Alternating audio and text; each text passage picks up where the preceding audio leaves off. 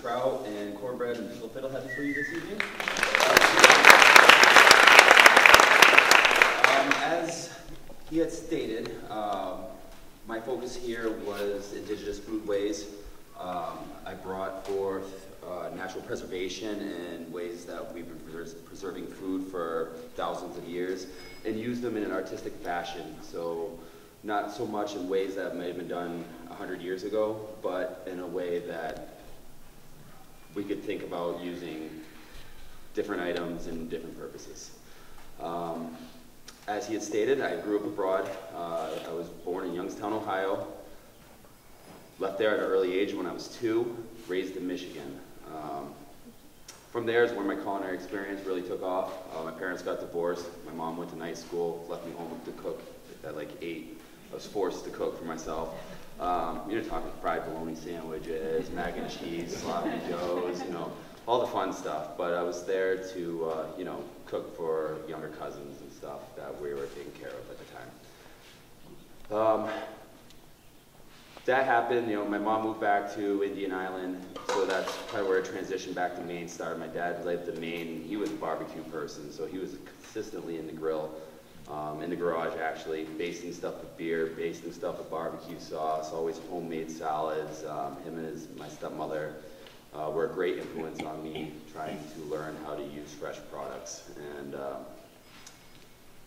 so from there, you know, I kind of married the two together between what I've learned. My mom always was a cooker as well. She liked to cater parties for the families, um, and so on and so on. So as I was growing up, I kind of taught myself a lot. I cooked for 20 years, 22 years before I even stepped foot into a class, which I just graduated a year and a half ago from Eastern Maine Community College.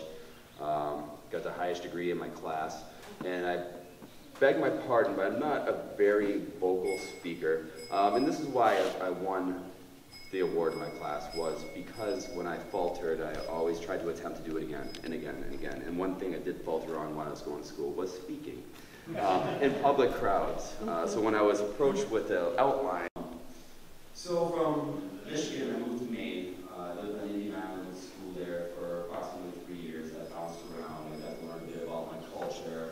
Um, you know, a lot about fried bread, a lot about whole corn soup, and this is my mom. And I told her I was at like 24 years old. It's never inspiring. It's never, you know, never a good thing. Call your mom at 24 and tell you you need to come home because you are just off doing whatever, you know. But it happened. You know, I showed up with a smash can and really like hunkered down and slowed down the pace of my life for a bit. And then I started cooking in the areas of Maine and uh, and noticed that I was really good at it.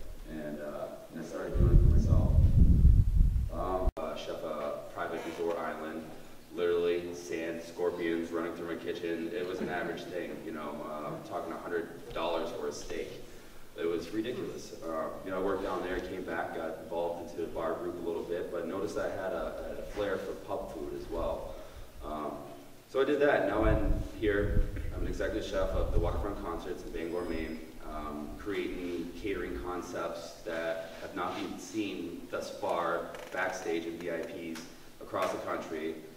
We're creating a brand new concessions program that's hopefully going to be launched and used in brand new venues for Live Nation across.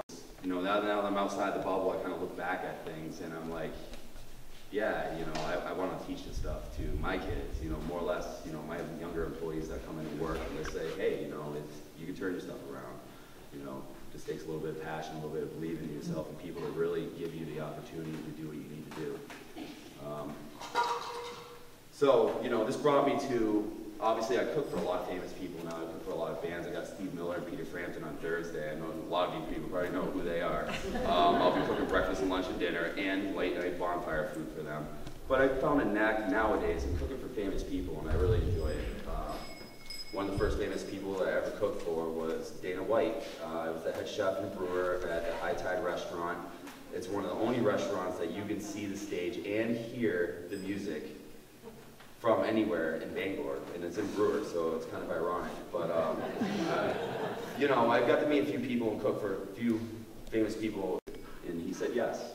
And Matt Serra, which is one of the all-time great heavyweight fighters, said, I don't want any piece of that. So naturally, Dan was like, bring it out, you know. So I kept the bands on. I brought this thing out. You know, I had to two-hand it, you know. So I bring it out. I'm comfortable with these things. They're not going to get you, you know.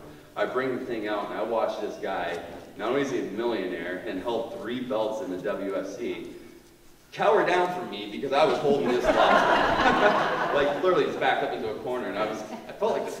Yeah. But it didn't happen to that, and you know that was that was very gratifying for me, and I, that kind of made me realize that yeah, this is what I want to do. I want to cook for famous people, you know.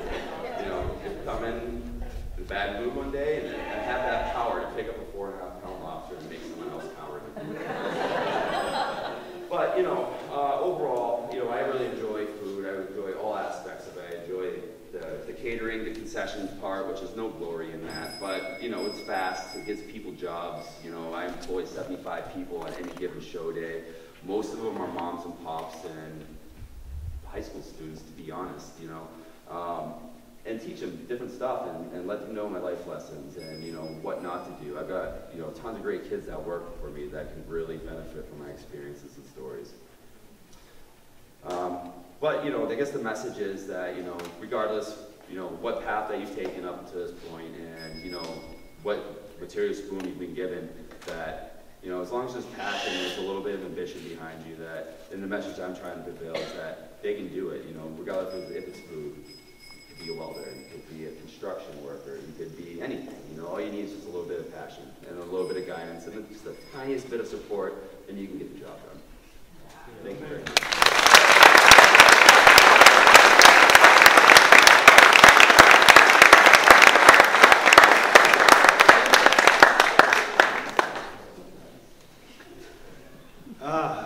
Great. So, as you know, not all farming is for food production, but to the extent that it is,